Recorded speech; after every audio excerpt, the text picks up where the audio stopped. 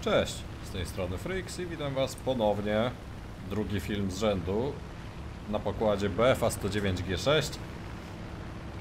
Poprzednie 3 razy 30 było robione w BF G10, ale nie widzi mi się podskakiwanie o cały BR do góry, tylko i wyłącznie po to, żeby tak naprawdę, nie wiem, mieć zielony kamuflaż czy coś takiego.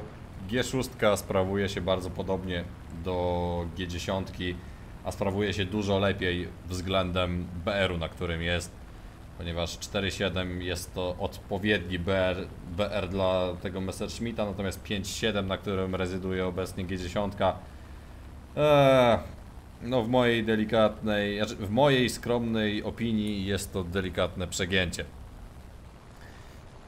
Może zac- zacznijmy od tego, co u mnie.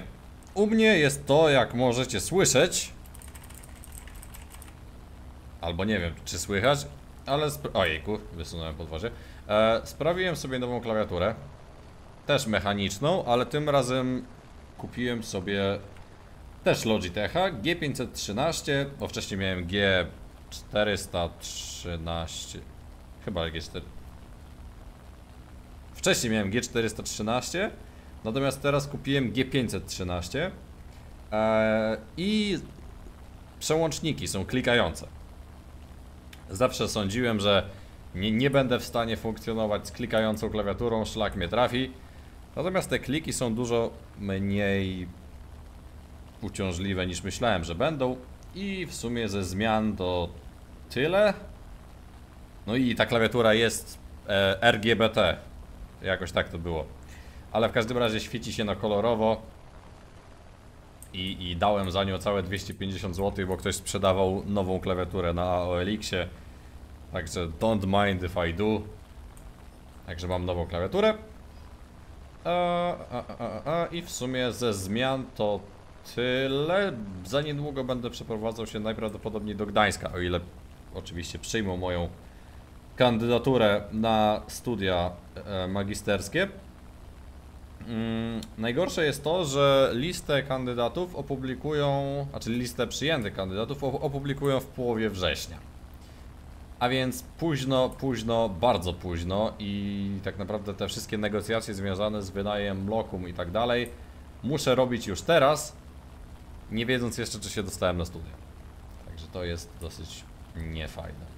Ale poza tym jest w miarę w porządku. Czyżby pan się kwalifikował jako, jako nasz pierwszy frag dzisiaj w filmie? Mój aim jest bardzo słaby. Ale wystarczająco, żeby ten pan zniknął w bardzo kinematycznej eksplozji. Być może pan do niego dołączy. No, troszeczkę mniej spektakularnie, ale nadal ujdzie. Także mamy już dwa fragi. Wspaniały początek dla tego filmu. Trzecim fragiem może być Spitfire. Absolutnie bym się nie po... Jakby, jakby to powiedzieć? Absolutnie bym nie posmutniał, gdyby tak było. Także zrobimy standardowy Energy Trap, pójdziemy do góry. Spitfire, jeżeli będzie chciał do mnie podciągnąć nos, to wypluje się całkowicie z energii. A to jest, z tego co widzę, chyba Spitfire, co to jest, dziewiątka? Czy 5C? Kolorem tak przypominał 5C. A to dobrze. To znaczy, że jego osiągi będą skopane. O. To jest 5C. Dostał, ale niestety nie na tyle, żeby eksplodować. To jest, to jest dosyć ciekawe zjawisko, biorąc pod uwagę to, że zwykle te 30 wystarczą, żeby sponiewierać samoloty przeciwnika. No okej, strzelam, że już nie żyje, jako że siedzi na nim dwójka moich um, kolegów z drużyny. Także zlecimy i spróbujemy tutaj troszeczkę przeczyścić teren z samolotów przeciwnika. I postaram się jeszcze nie rozbić, to też byłoby optymalne. Dobra, P51. Zobaczmy, jak blisko uda się. Nie uda się. Złapiemy go. Nie złapiemy go. Ale to, to zaraz, co on tu robi? To jest P51 z czterema dwudziestkami. Dlaczego on tu lata na, na tym BR-ze? To jest jedna z zagadek ludzkości. No ale okej, jedyne co mi teraz pozostaje to zachowywać przewagę energii i w miarę możliwości trafiać jednak moje strzały, ponieważ... E, no cóż... Obecnie moja amunicja jest e, w stanie topniejącym i to bardzo, bardzo szybko. Okej, panie P51, zapraszam do wystawienia się do góry. Przepięknie. No nie, zabrali. Może ten pan Spitfire się, się zdecyduje? Też pójdzie do góry i może go zgarnę? Oj, dociągnę do niego? Dociągnę. Ki... Ojojojoj, a skąd się ich tu tyle wzięło? Nie. Nie pozwolę wam zestrzelić mnie w moim filmie 3 razy 30 Od, proszę mnie zostawić w spokoju. Nie, nie, nie, nie. A- Akieś, akieś, akieś. Panie Helkacie, proszę odstąpić. No. Przynajmniej mój skill negocjacji działa.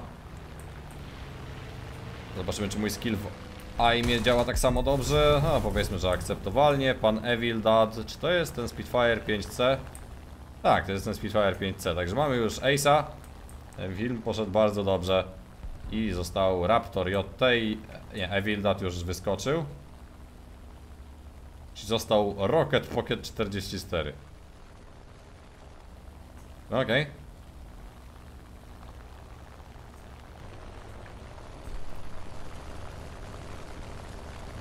Okej, chyba pana znaleźliśmy. To jest ciekawe. Kiedyś przecież wprowadzili ten system, że teoretycznie powinien się poświetlać na mapie kwadrat, w którym znajduje się ostatni przeciwnik. Czy ktoś coś słyszał na, tego, na temat tego systemu, żeby on A działał dobrze, albo B działał w ogóle?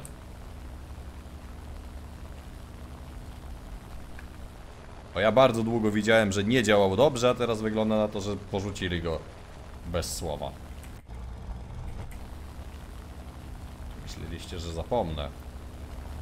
Wy, wy niedobry roty, wy.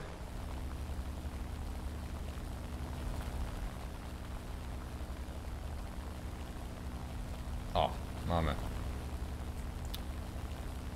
Aczkolwiek jest to dosyć głupie moim zdaniem, że ten kontrail, który widać no, z dosyć dużej odległości, generuje się tylko wtedy, kiedy wygeneruje się samolot przeciwnika. No dobra, F6F, który ma przewagę energii. Mm, nie podoba mi się ta opcja. Dlatego spróbujemy troszeczkę zanurkować. Spróbujemy trochę wyrównać stany energii. F6F5. Aaaa! Flary.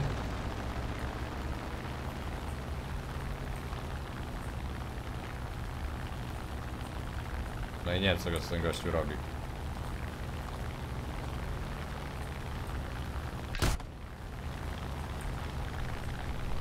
Idzie taką spiralą, jakby walczył z czymś, co nie jest BF-em.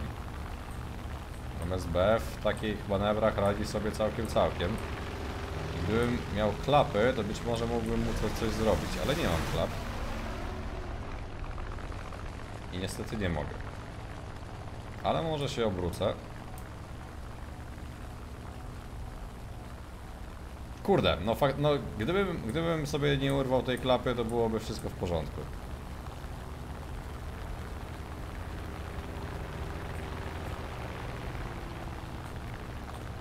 Tak jest dupa.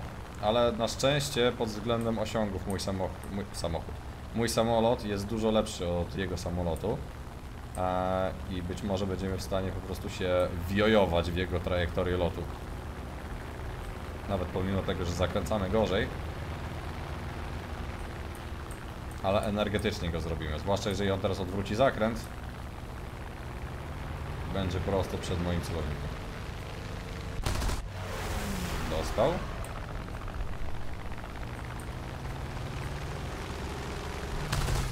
No nie gadajcie, co to miało być? Dobra, teraz nie będziemy się zakręcać za nim, tylko pójdziemy chwilowo do góry.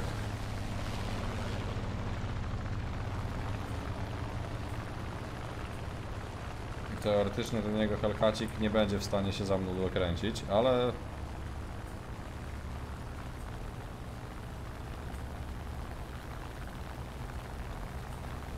Zobaczymy, no on ma klapy i on ma lepiej zakręcający samolot, natomiast jedyne co ja mam samolot, który lepiej sobie radzi w takich właśnie manewrach górnych. No kurna, gdybym miał, gdybym tylko miał klapę, no. Gdybym miał klapę, to ten gościu by spadł już dawno, dawno temu.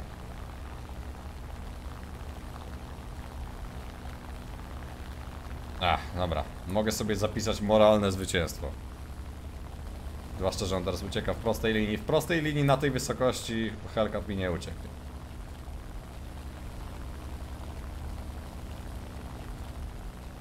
Także będzie musiał za zacząć manewrować prędzej czy później. Mam jeszcze 23 pociski do działka w nosie. Także obecnie to chyba mogę po prostu polecieć prosto i zrobić stary dobry boom and zoom. I o ile on nie strzeli do mnie teraz z, e, dwu, z, kilometra 20 ze swoich działek, to będzie wszystko w porządku. Obrócimy się na nim. Nie jesteśmy 700 metrów za nim. I teraz pan musi zrobić kolejny split, który pan robi zbyt leniwie. Albo robi pan dosyć wystarczająco leniwie, o dziwo.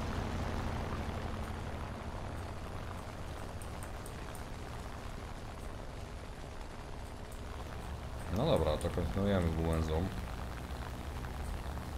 Mam 7 pocisków do, do 30, a chciałbym go tą 30 wykończyć.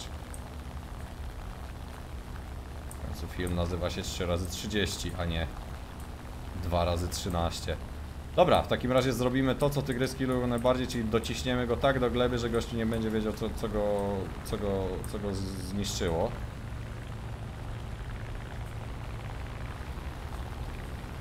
Ty możesz się ruszyć, gościu, trochę?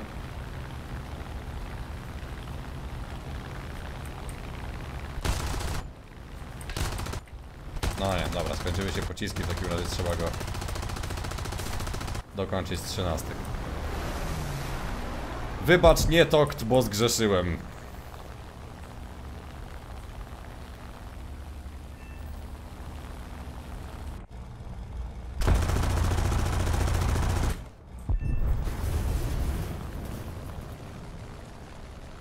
No, ale mieliście przy okazji troszeczkę materiału do oglądania.